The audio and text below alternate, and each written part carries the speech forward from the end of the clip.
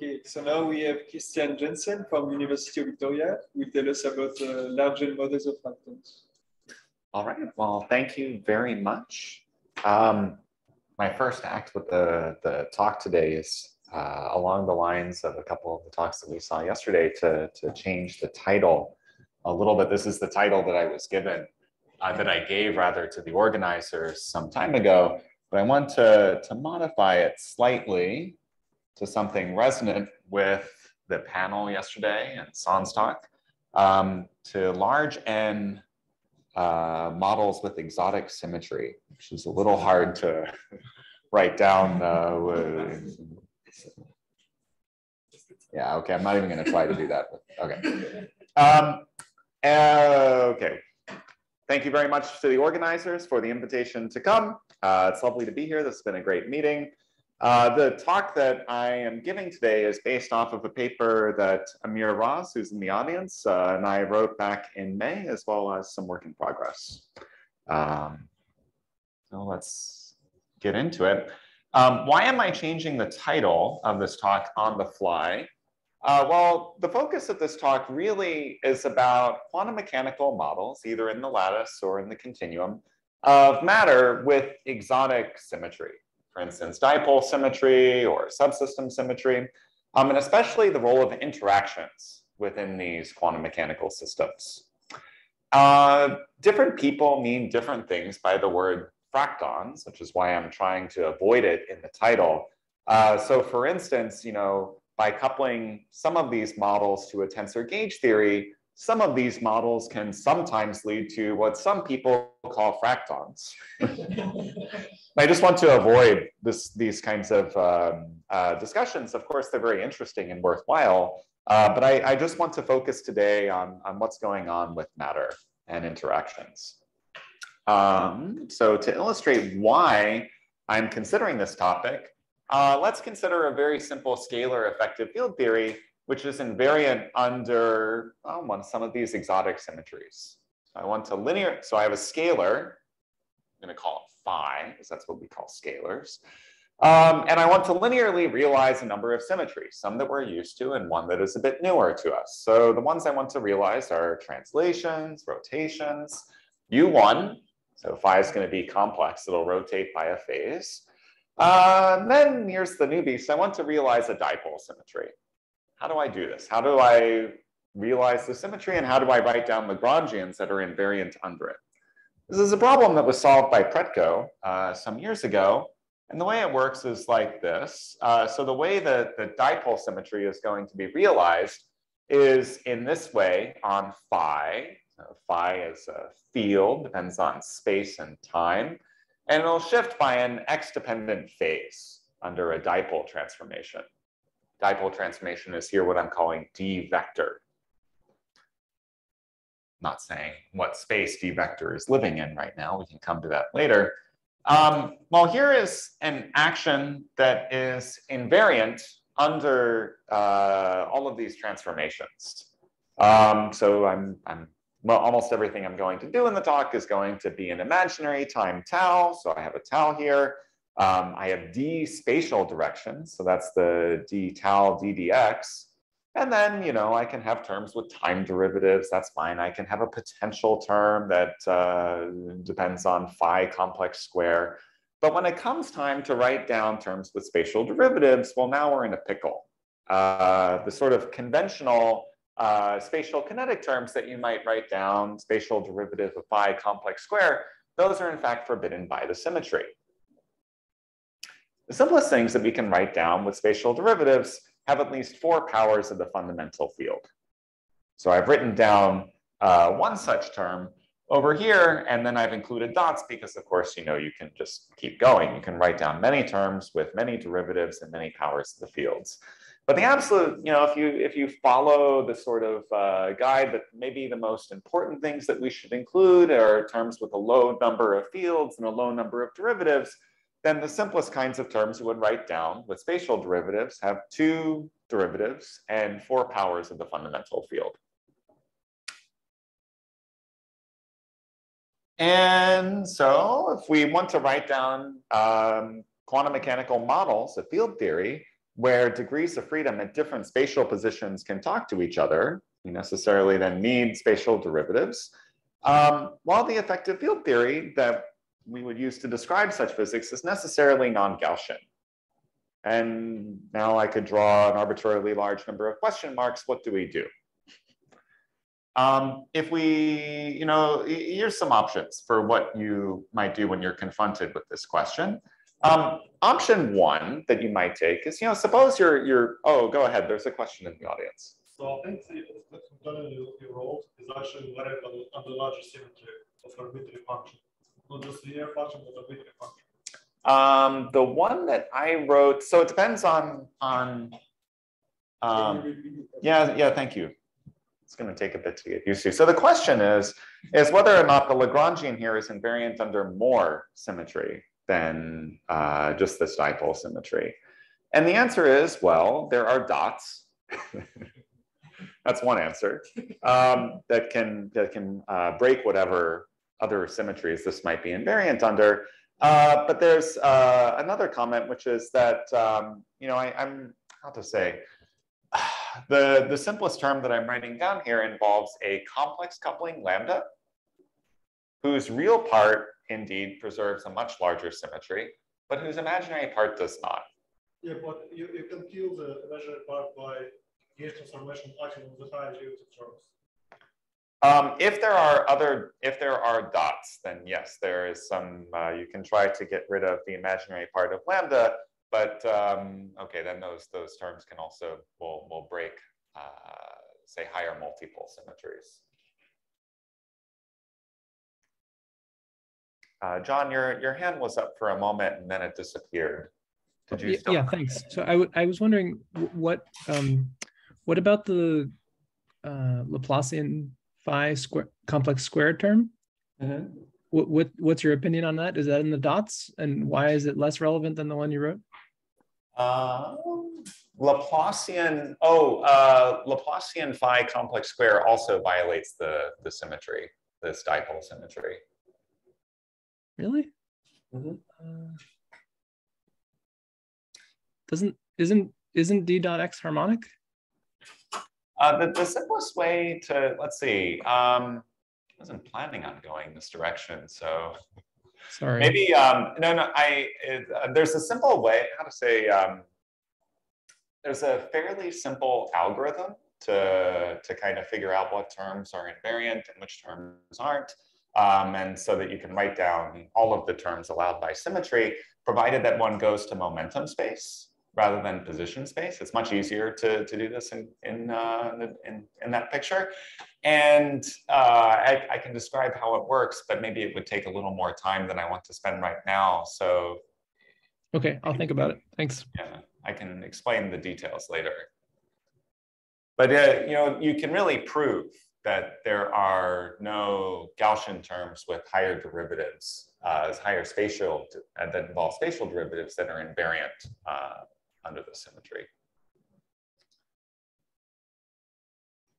So what are some options then, uh, if you want to understand the, you know, what's going on in these models uh, with these uh, non-Gaussian terms with spatial derivatives?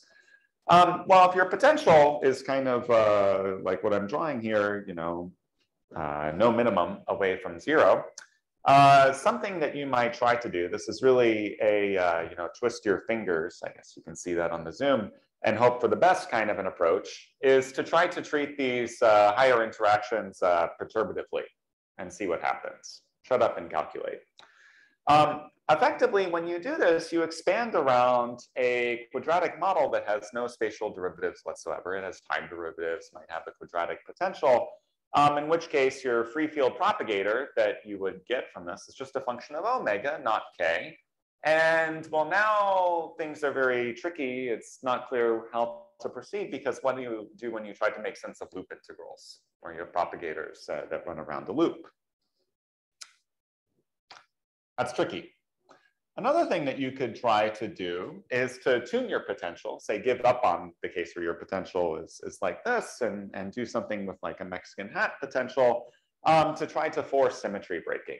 And you might then hope in that case that there is some weakly coupled sigma model description of the, the phase of your scalar. And indeed, there are such Lagrangians that are consistent with the symmetry. Uh, the Lagrangian that Son wrote down in his talk yesterday was of this sort. Um, but at some level, this is also a twist your fingers and hope for the best kind of approach. There's a question, you know, when you write down a tree level potential, there's a question, what about radiative corrections? Do they lift the potential? Do they leave it there alone? Um, and it's unclear how to address that question a priori. At least it's unclear to me. So what it, uh, a third approach that one can take to, to get some handle on these questions is the one that we took in our paper and the one that led to the title of this talk, the method of large N. So what you can do is, is you can replace your, you can change the question until you can answer it. Um, instead of, uh, which is a time honored tradition in our field. So uh, we're gonna replace the, the theory that we started with, the theory of a single phi, by a theory of an n component phi, n complex scalars, where n is going to be much, much larger than one. And when we do this, well, in addition to enforcing rotations, translations, and so on, let's do the simplest thing. We'll also enforce a UN global symmetry, whose U1 subgroup will enforce associated uh, dipole symmetry. And now it's, it's as easy to write down Lagrangians of this sort as it was for the single scalar. And you know, here I've, I've written down uh, one such example where now I have a, a bunch of phi's and repeated indices imply a sum over those. And of course, there's more complicated models. And the, the nice thing about writing down models of these sort is that they are soluble to leading order in 1 over n expansion. Um, essentially, by a more sophisticated version of what people did in the 70s, I won't say how many years that was before I was born, um, uh, to solve the vector models, to solve the ON models. So there you may recall when, um, you know, when you solve the, the ON vector model, say with a quartic interaction, um, that what the way you proceed is by uh, uh, integrating in a scalar field, call it sigma, um, which is essentially the, the norm squared of your n component vector. And when you do that, you can uh, decouple the, the, the quartic interaction. You end up with a uh, Lagrangian that is um, say, where you can integrate out the scalars and you get a weakly coupled effective theory of this mode sigma. Here, that doesn't work because these quartic interactions are not, you know, they, um, they're not the square of something. So you can't uh, introduce a single local field to decouple the interaction. What you do instead is the next best thing, you integrate in bilocal degrees of freedom.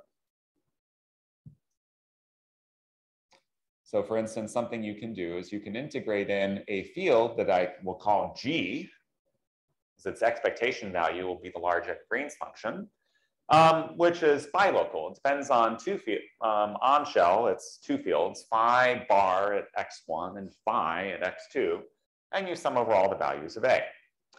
And if you want to integrate in such a field with that definition on shell, then you need an extra Lagrange multiplier degree of freedom to enforce that. And that's what we're going to call sigma. We'll call it sigma because it will be the large n self-energy. Uh, to give um, a flavor of how this works and why it's useful, um, the, the, you know, the, these quartic interactions with spatial derivatives, you can uh, Fourier transform them, write them in momentum space. There's some integral over four momenta with a momentum conserving delta function um, times an interaction that is a polynomial in momenta because the original configuration space action had spatial derivatives.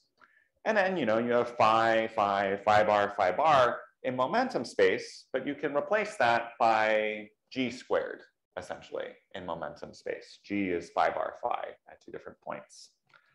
And in so doing, you can convert a theory that's quartic in, uh, a term that's quartic in phi to one that's quadratic in g, albeit with this uh, tricky uh, momentum space uh, prefactor.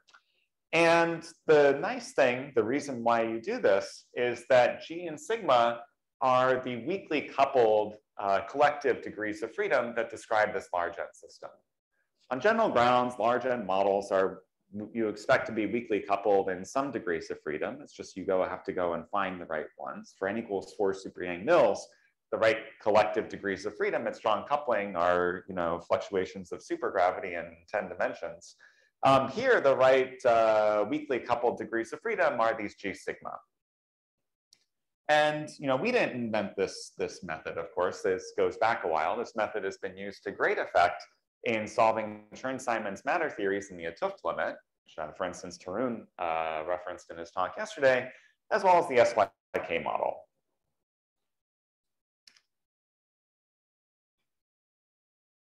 So what do we do using this then? Well, we solve these models uh, to leading order in large n as a function of temperature and chemical potential. Chemical potential here being a certain quadratic term in the, the potential uh, V in these models. Um, how do we do that? Well, these models are um, weakly coupled at large n, which means they're effectively classical.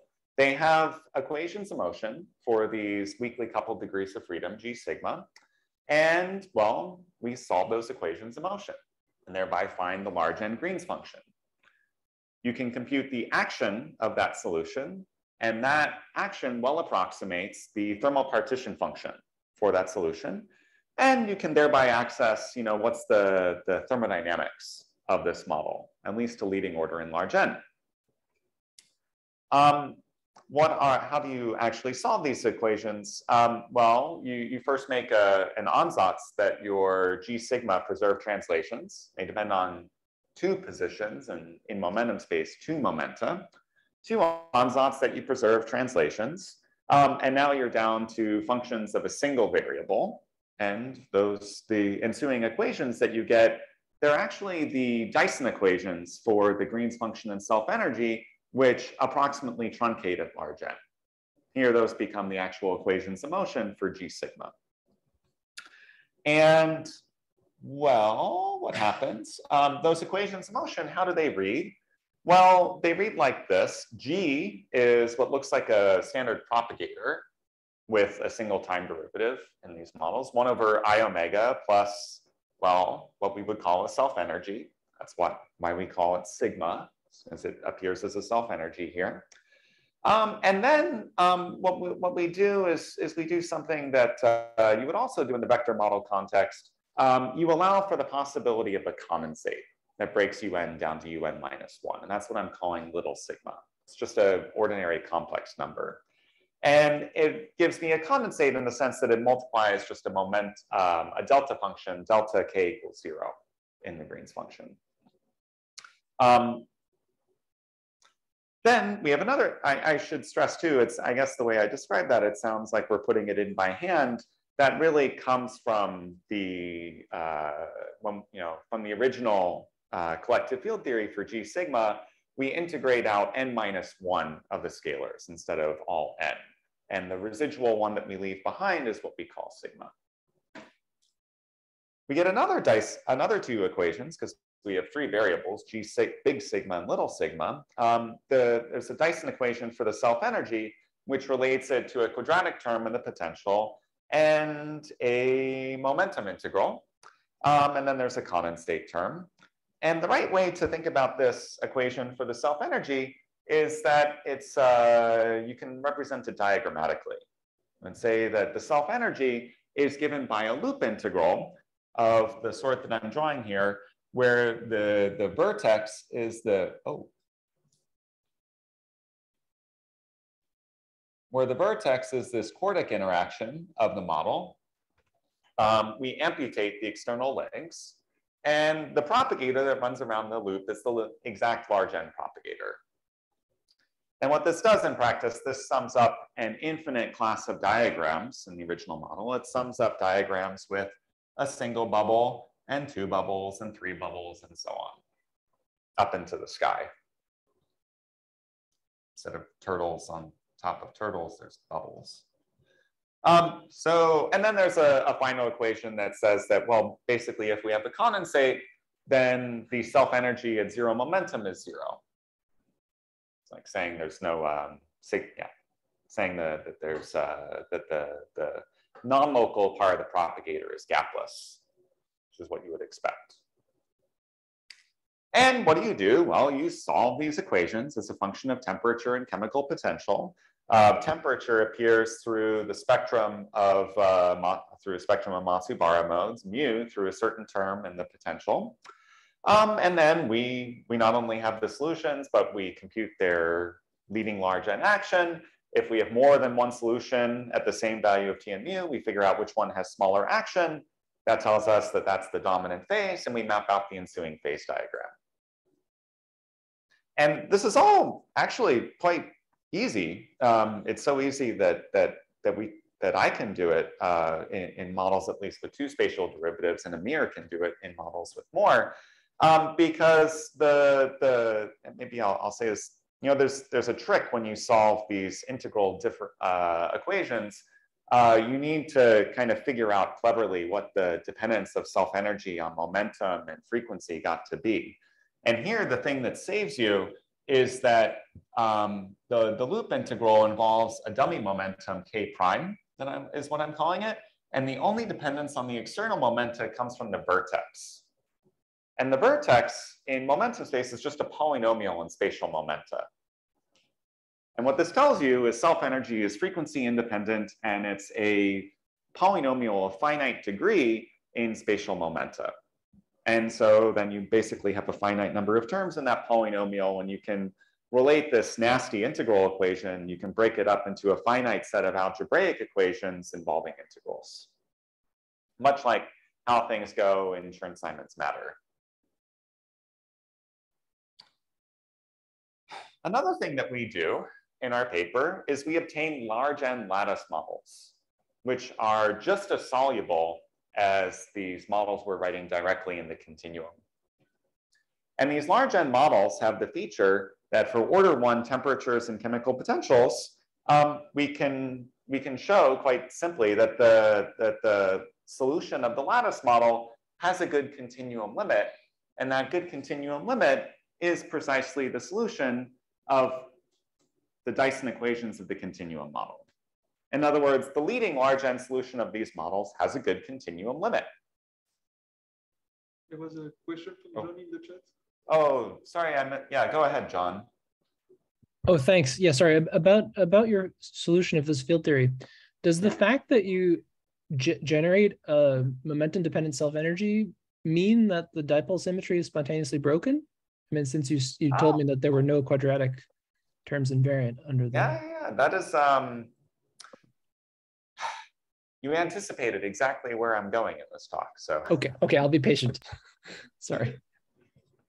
Um, but what, yeah, I can compliment you with a very astute observation. So um, indeed, that's where we're going. So um, right, so the third observation, um, the third thing that we get is the phase diagram, as I mentioned. And let me draw sort of roughly speaking what it looks like at finite but very, very small lattice spacing.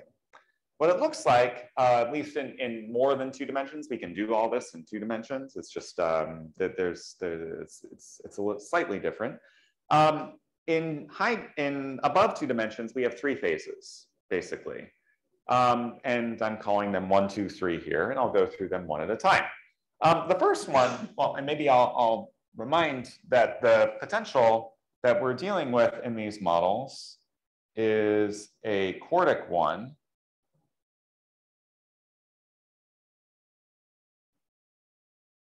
minus mu phi squared, where mu is chemical potential. So when mu is positive, this is a potential of Mexican hat form. One expects um, condensation in high enough dimension that that's allowed. And that's indeed what we find.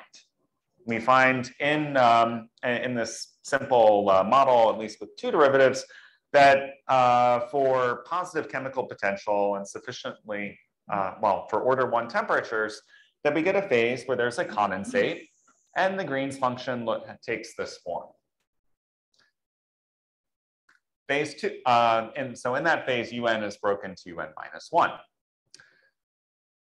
We get another phase uh, So this is one at uh, basically at higher temperature or also at um, uh, negative chemical potential. So that would be the case where the potential is just strictly positive. There's no well away from zero.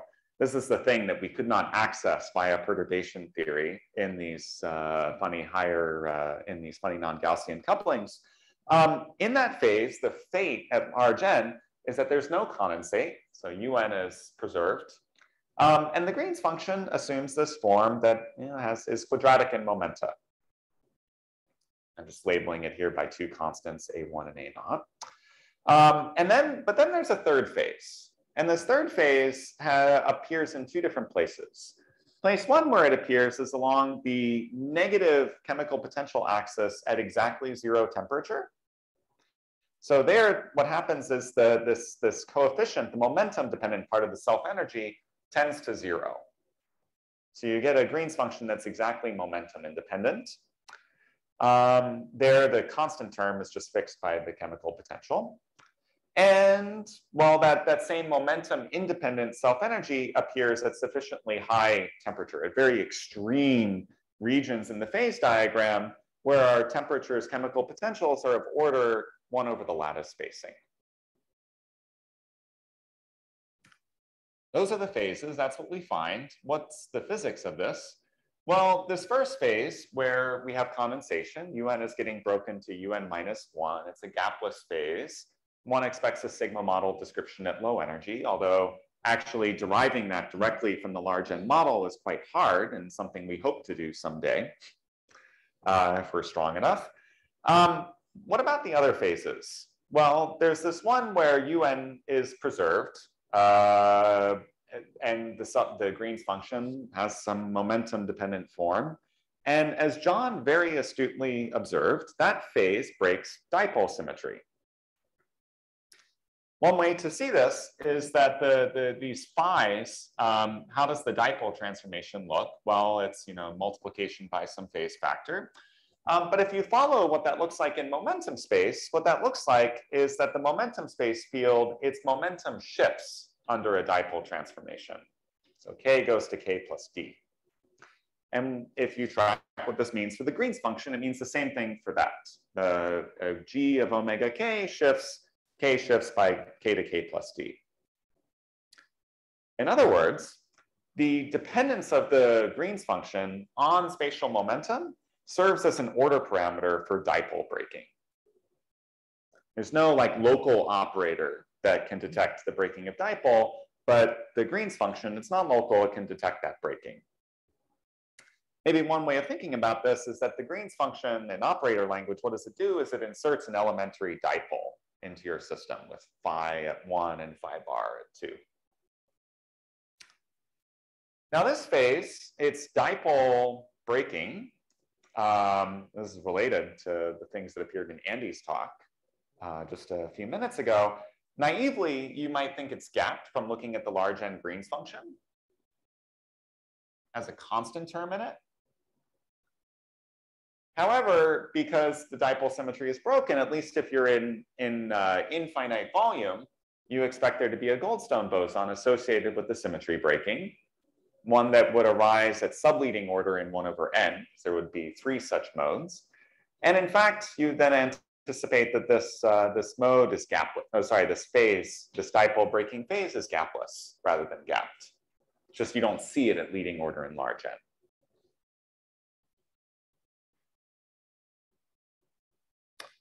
And lastly, there's this phase where the self-energy is momentum independent. And there, all the symmetries are preserved. Green's function is trivial. One expects there to be no transport whatsoever. It's an insulating gapped phase.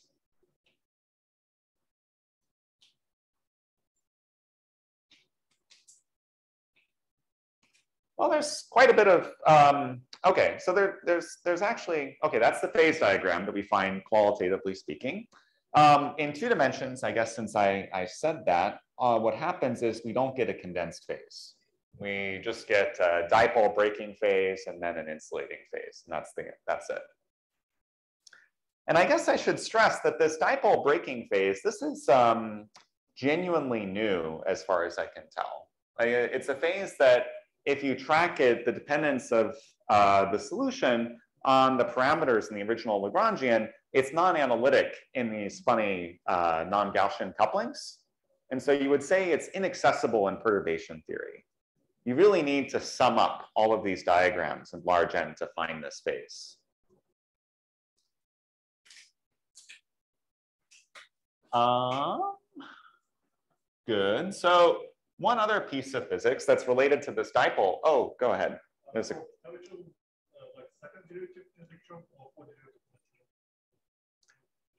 uh, so we we have models. So the question in the audience is uh, whether or not that state the statements I'm making are true in models with two derivatives or four derivatives. Um, what happens is is that how to say um, the short answer is they're true in, in all those cases. I'm presenting results for the simplest models, but we have models with four derivatives as well. And indeed there, the, the, the, the uh, how to say, um, what happens is, is maybe one way to see it is that if we can treat the low temperature limit at negative chemical potential analytically. You can solve these Dyson equations analytically in that regime. And when you do so, you find that the solutions have a non-analytic dependence on these uh, non-Gaussian couplings, quite generically. Does that does that answer? So it says that qualitatively the results are the same. Or... Qualitatively, they're the same. John, you had a question? Yeah, I'm sorry to interrupt again, but I'm I'm confused about something. So your system has translation symmetry, charge conservation, and dipole symmetry.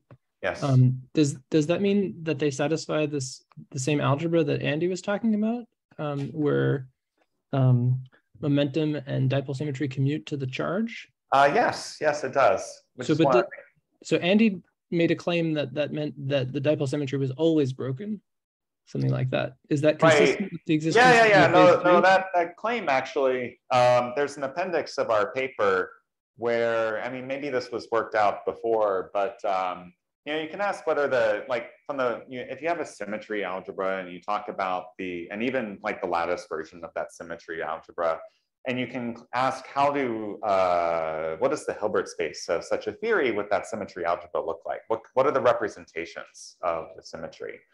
And indeed, they, they, all the representations with non-zero charge have that property that there's basically, how to say, in a lattice regularization, there's as many states in the that irrep as there are lattice sites. This is what I'm, one of the things that I'm about to discuss actually. Um, and how to say, um, that can look like an infinite number of states in the continuum. Where was I going with this? Um, it, physically, it's a very simple statement. It's uh, maybe uh, one way of saying it, that what that algebra really means, uh, P and D commuting to the charge, is that if you put a charge here and you translate it by one unit, you change the dipole moment. That's all that algebra means. And if you have a charge eigenstate of definite momentum, you act with the dipole, uh, with the dipole transformation on it, it just has the effect of shifting the momentum. So that, uh, and then you, you fill out an irrep that has all possible allowed values of momentum, and that would lead to as many states as, as you have momenta, and in a finite volume lattice regularization, that's just the number of lattice sites. So is, is that consistent with the existence of this sort of vegetable phase? Yes. So that's what I, yeah, yeah. So indeed, um,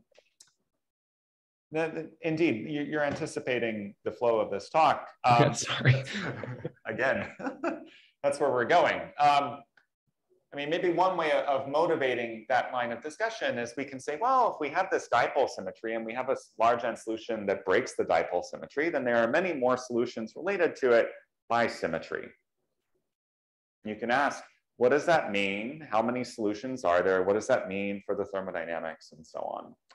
Um, and well, okay, uh, exactly what we're saying here. If, if, if you have a solution for the Green's function, then that depends on spatial momentum, then you get a bazillion other solutions as well. um, where uh, that are labeled by these dipole transformations D. And here we have to stop and slow down and be careful. A theme of uh, the, the panel yesterday and of uh, various talks that you will see on fractons is that of UV-IR mixing and sent long wavelength sensitivity to an underlying lattice. And so far, none of that has appeared in the talk, really, but it was kind of waiting, hiding in the background, coming to jump at us, and here it is. Now we have to confront it. Um, so nowhere did we deal with such sensitivities in arriving at the large N solution. As I said, the, the lattice models that we write down have a good, the large N solution of those models has a good continuum limit for any one such solution. However, the symmetry that we're dealing with that relates many different solutions to each other does depend on these kinds of details, like are you in finite volume or infinite volume? Do you have a lattice or are you in the continuum? And the way it depends on it is precisely through this, uh, these dipole transformations D. They're valued in the same space as single particle momenta, clearly. Um, and that space of momenta depends on, well, what we're doing. If we're in the continuum in infinite volume, those transformations are valued in uh, RD. If we're in the continuum on a torus, then they're discretized and they're valued in a torus.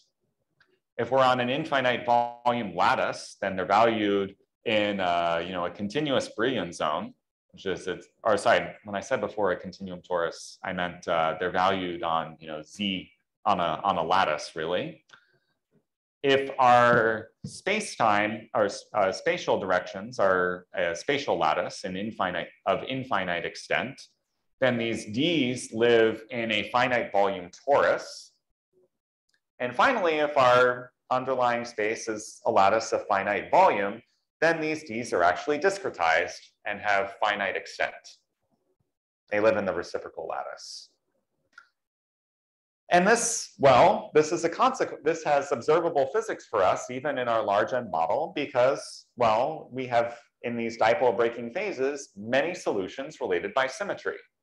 And how many solutions we have uh, depends on this, this particular uh, subtlety. In other words, the, there is indeed in these large N models uh, UV IR mixing, but it seems to be related, uh, it's fairly innocuous. It, it has to do with the spectrum of fluctuations and how many saddles you have, rather than the large N solution itself. Maybe one way of saying this is that if we are um, in one of these cases where these dipole transformations are continuous, so in, infinite volume in the continuum, or infinite volume but on a lattice, then the, the, the, the symmetry you can shift by d vector, that corresponds to a zero mode in the spectrum of fluctuations around our large N solution. And when you path integrate over those fluctuations, you, you know, you have at least the theories weakly coupled. So there's a bazillion modes that you, know, you have to do a bunch of Gaussian integrals. But then you have these zero modes. And those zero modes will have either infinite volume or finite volume, uh, depending on whether you're talking about a continuum or a lattice. And that is a UV sensitivity that persists when we're talking about a prefactor to the partition function. In other words, that, which you can interpret as uh, how many states exist when you think of partition function as a state counting function. So here's the UV-IR mixing. It's finally here. There's UV sensitivity in the spectrum of low energy states, but it's detected in this very simple way. What's the, say, the, the zero modes of these large N solutions? If instead we have a scenario where these uh, Ds are discrete, then we have many discrete saddles related by the symmetry and what instead of having a zero mode, what we're supposed to do is we're supposed to sum up all the saddles, but they all contribute equally to the partition function because they're related by symmetry. Yes? So since the model conserves U(1) charge, mm -hmm. uh, we just look at a charge neutral sector, mm -hmm. this ah. go away? Right. So we are right. So everything that I indeed. So yes, that's the short answer. Oh, sorry. Thank you. got myself used to giving Zoom seminars and getting used to giving in-person seminars, but doing both at the same time is, is a task. Uh, so the question that, uh, that Mong was asking was whether or not if we work in a charge neutral sector, if these issues go away. And the answer is yes.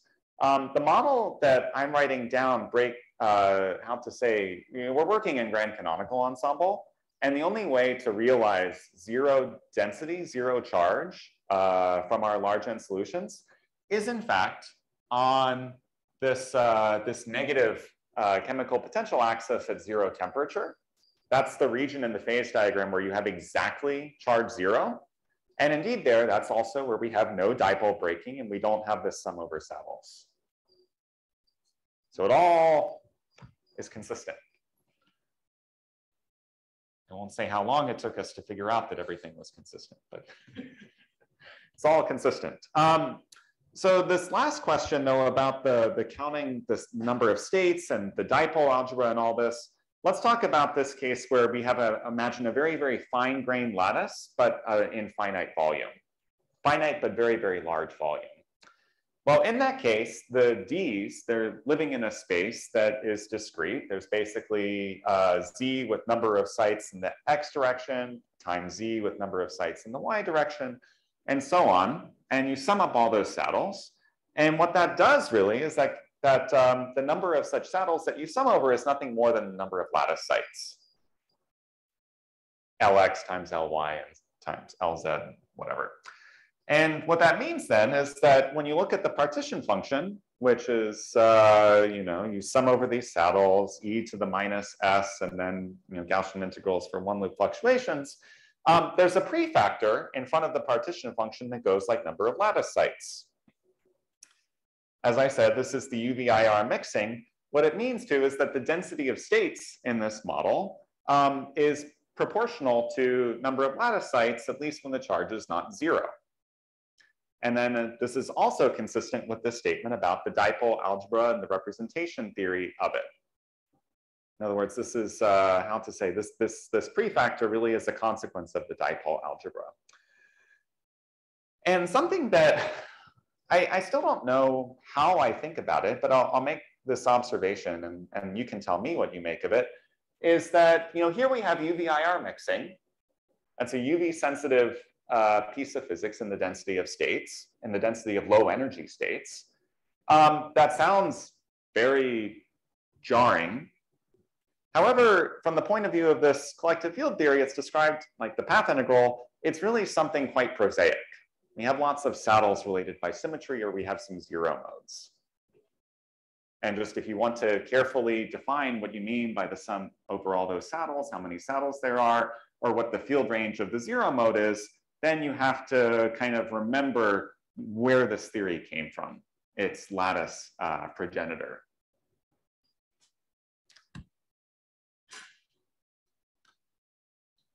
Um, okay, so let me keep going with some, since no one's stopping me with questions, I just keep going. I guess I'll end maybe a little bit early.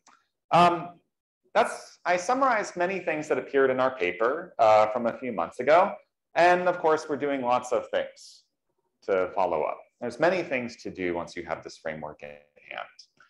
Uh, one direction that was uh, suggested to us by Nadia and his collaborators, um, I can't, maybe I do have the time to explain why. Um, at finite n, these, uh, these many body quantum mechanics that I'm discussing, things with a single time derivative, they're actually a bit confusing.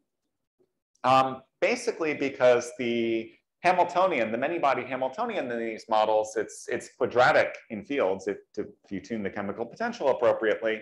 So if you canonically quantize and introduce creation annihilation operators, have a many-body vacuum and so on, then the Hamiltonian has, you know, if you normal order, it's a dagger squared, a squared which has an enormous degeneracy. There's infinitely many states that are annihilated by that Hamiltonian, generated by just acting with A daggers, as many A daggers as you want on the many body vacuum, as long as they're living at different sites. That is, I think, um, that is a confusing feature. I don't think it contradicts anything that we discuss, in fact, I think it's resonant with the what we find in uh, our large N models, basically because the states that we're looking at are states with uh, uniform charge densities. So the states that we're working around are, are very far from the many-body vacuum.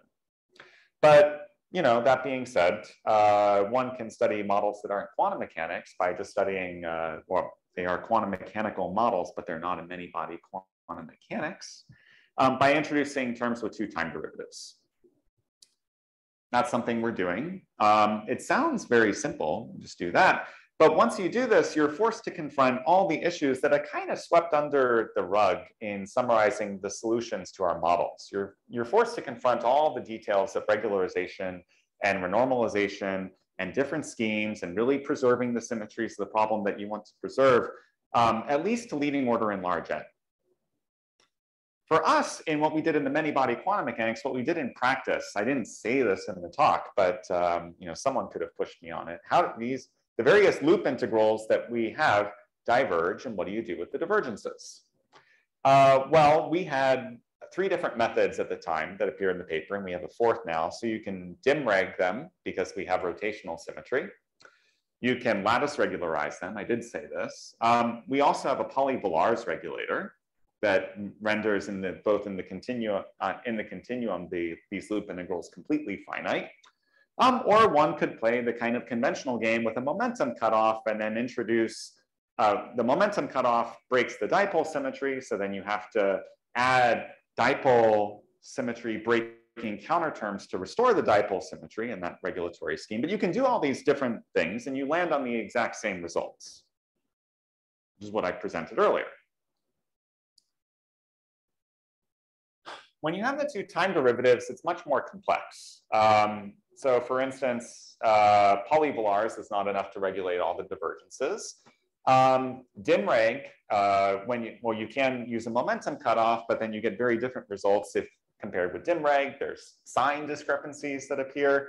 Uh, it appears that, you know, in, with a momentum cutoff, because it violates dipoles, I mean, you, you have to deal with all these kinds of things, I guess. these technical questions that would appear in textbook field theory or in a quantum field theory course, you're forced to confront them now for these models. And it's a useful thing to do because then you can ask, well, um, this is sort of a baby version of questions that came up in the panel yesterday about RG. In the sense of, you know, you can ask how many um, counter terms do you have to tune at leading order in large N? What kind of, uh, how do operators be, you know, how do these operators behave? And the nice thing about large N is that it really truncates the problem, at least at leading order, you only have to worry about so many counter terms, so many operators. If you go to subleading order in 1 over n, then you know these theories are really non-renormalizable effective field theories as far as we can tell, and you have to deal with more and more counter terms, more and more operators have to be tuned. Um, but there seem to be a finite number at, uh, as, you, at, as you increase the order. Another thing that we're doing is to look at uh, large N models with subsystem symmetry. You can write down Lagrangians that have subsystem symmetry rather than dipole. You can solve the Dyson equations, find G sigmas, and well, it turns out you find qualitatively similar results to what I indicated with dipole symmetry in the sense of you find condensed phases and you find, well, not just dipole breaking phases, but subsystem breaking phases.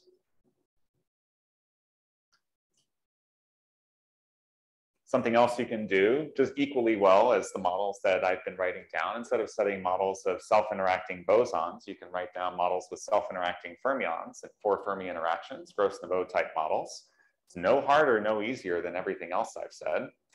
Um, and lastly, uh, you know, uh, something interesting that one can do is to couple this, this new phase, this one that we really needed to sum up uh, the interactions at, at, leading order in large n, this dipole symmetric, but uh, di sorry, dipole non-symmetric, UN symmetric, no condensate phase, um, we can make a, a, at least in the infinite volume limit, where you expect there to be uh, Goldstone bosons associated with the symmetry breaking, it's easy to write down a Lagrangian description uh, by symmetries of the problem for those dipole goldstones. It's very closely related to what Andy was doing in his talk, except he has those coupled to fluid modes as well. Um, you can write down that effective theory and you can ask, well, what happens now if you couple it to tensor gauge theory? Like what people do when they couple Seiberg-Shao type theories to tensor gauge theories and see the physics of fractons come out. You can ask what happens in these other phases. Um, what happens? Seems that you, well, and that is, okay, I guess I can say that's just work in progress. Seems that you still, you, the, having these dipole goldstones that Higgs is the tensor gauge theory, but it does leave some mat, um, massless matter behind, which renders questions of sort of if, you know, some partial TQFT description more subtle hopefully it's clear. I mean, I, I, could just keep going with this list. There's a lot of things to be done. This is a very nice theoretical laboratory where we can study the role of interactions in these models uh, in, in a very controlled way that, again, even I can do. Um, and so I hope that that sounds very interesting to you. And uh, thank you very much for your attention.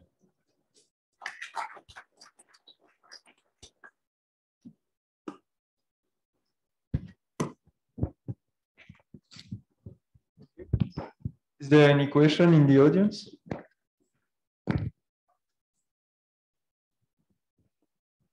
Um, so you mentioned some point in the talk that the order parameter for this dipole breaking phase, uh, but UN symmetric, this new phase is uh, the, the bilocal green function.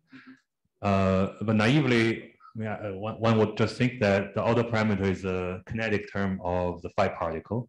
Mm -hmm that breaks the dipole symmetry. And that looks like a local order parameter. It also has a derivative.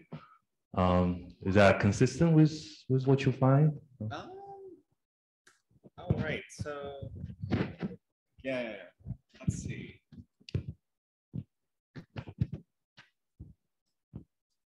Yeah, so the, the, the observation is that the ordinary grad phi squared is, oh, I guess all of you heard it because Meng and, okay.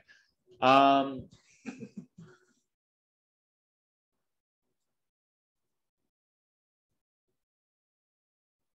yes, I think that that's right. So I think the statement that I made, maybe I guess the you're you're pushing back on it, was that there's not a local operator that would detect uh, the violation of dipole symmetry, but is, is UN symmetric. And that's a good point. I, I, I, you may be right, actually. You can get that from a certain, uh, it, good. So the Green's function certainly does act as an order parameter, but you're saying maybe there's some good local order parameters. And I think you, I think you're right, actually. Uh, one way of, you can get, of course, the expectation value of that from a certain coincident limit of the Green's function.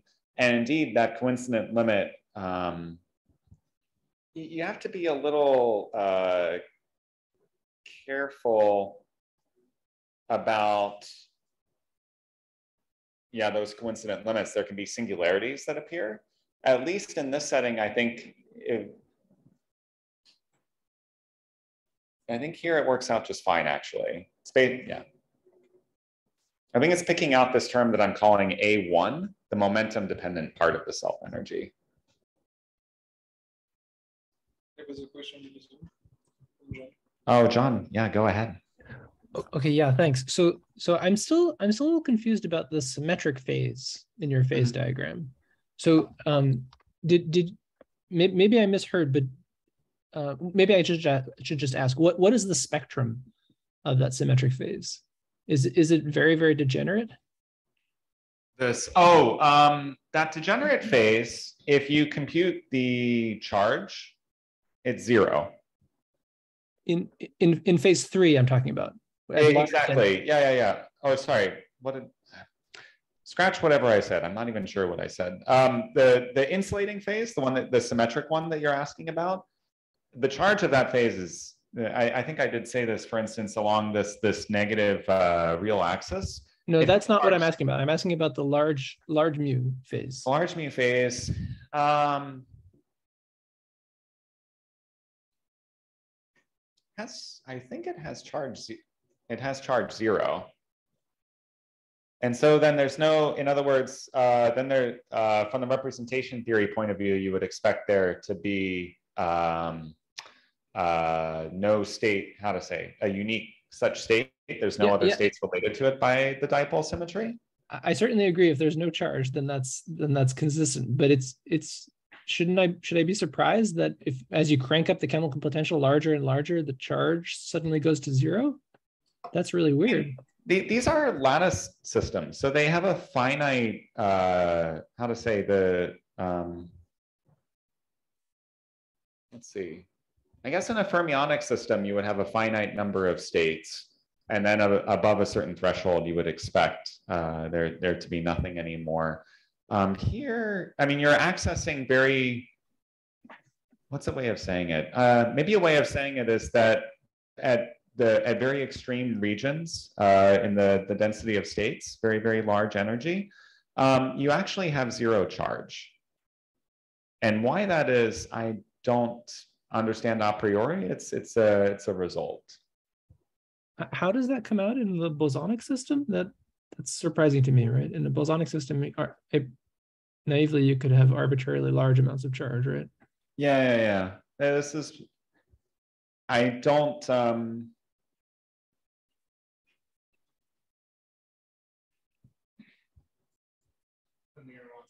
oh, go ahead, Amir. Sorry, could you give him the mic?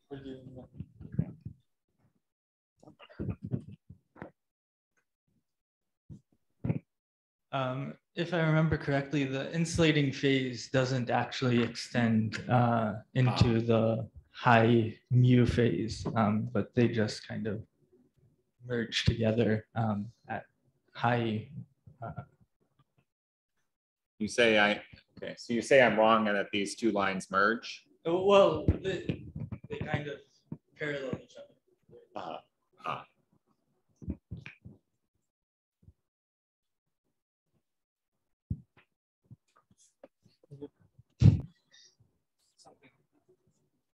Do you want to comment? Or? Um, may- maybe I'll take it back, but well, we should we should ask.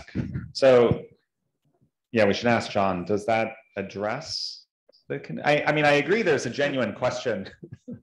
Naively expect there to be states of arbitrarily large energy, arbitrarily large charge. I guess there's a question of whether or not they're thermodynamically depend um, dominant, like higher density of states for for those at leading order in large n. That depends on the dynamics of these models.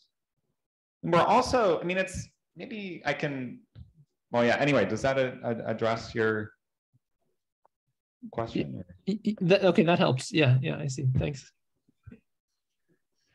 I mean, maybe one comment too. I, I, uh, from a physical point of view, these are, I mean, these, we're, we're fortunate that at leading order in large n, they look renormalizable.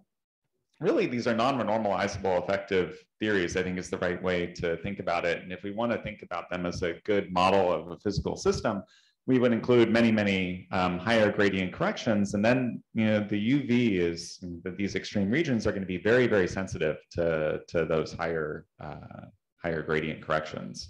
So what we're writing here, it's a little, you know, I'm presenting the results, but it's a little bit artificial. So, I, okay, so maybe a physical to ask the question is, what do, what do you think happens at fixed n, at fixed at fixed charge as I vary the temperature?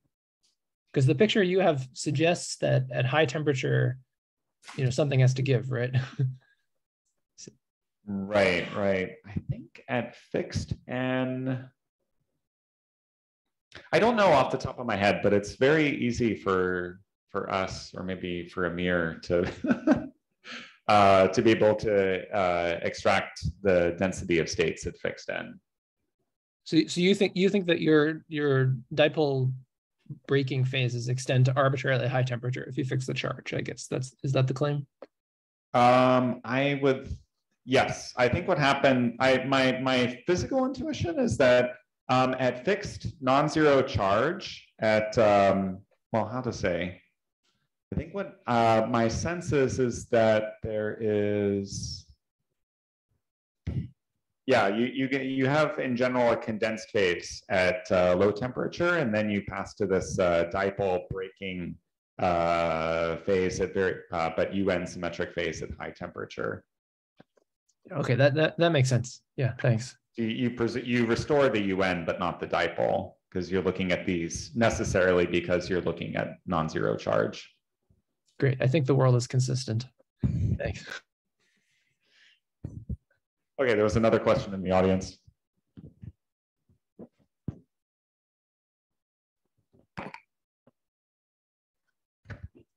So related to this uh, question of universality at large, and um, given that the dt squared term uh, makes the regulator so much more subtle, um, would this phase diagram change qualitatively at all if you have both the linear and quadratic term at large n?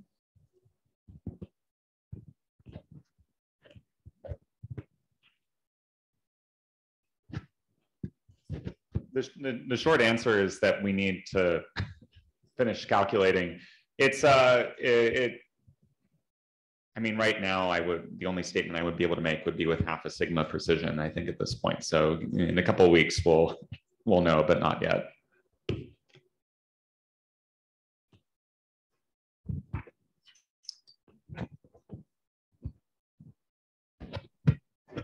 You mentioned these theories are non-renormalizable. How do you know that? Is there a power counting that you see the uh, um, the coupling constant has negative dimensions? Or?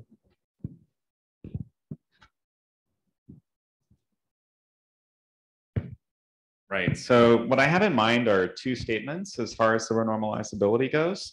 One is indeed a very naive power counting uh, definition, uh, which would arise, for instance, in the model that I'm writing here, there's an emergent uh, scaling symmetry at high momentum, high frequency with z equals two. And with respect to the, that scaling, the higher derivative, uh, this, this two derivative four phi term in the effective action is irrelevant with respect to that scaling. There's a, another thing that, of course, one can look at, which is, you know, how many counter terms do you have to, to tune in order to preserve symmetry, well, how to define the theory below, at, below some scale. And for the two-point function, things are, the Dyson equations that I wrote down, those are quite simple. But once you start considering loops, uh, for instance, you know, if you um, if you were to think about the four-point function in this model, then what you're doing is um, this is going to look really ugly, but you're you're summing up things like this, just like in the vector model, where where these are the external, and you sum over an arbitrary number of these, and you have the large n Green's function running around the loops. Um, but now what happens is that unlike the O(N) models, the vertices are uh, polynomials in momenta. And so this is going to lead to more diver to divergences in the four point function. And then if you look at the six point function, there'll be divergences that'll appear there that'll be different than there'll be, there'll be purely, uh, you know, things in phi sixth. And you can run that argument ad infinitum. So there'll be infinitely many counter terms that need to be tuned in order to define the all response functions in the theory below some scale. So in that, from that point of view, this is a non, but you know, the, the nice thing about large n is that this connected four point function is a one over n effect and the six point function, function is a one over n squared effect and so on. So to any fixed order in one over n expansion, you have a finite number of terms to deal with.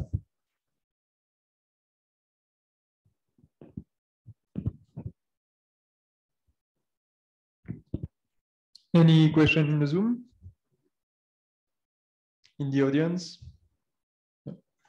Okay, so I guess we can thank uh, Kristan again.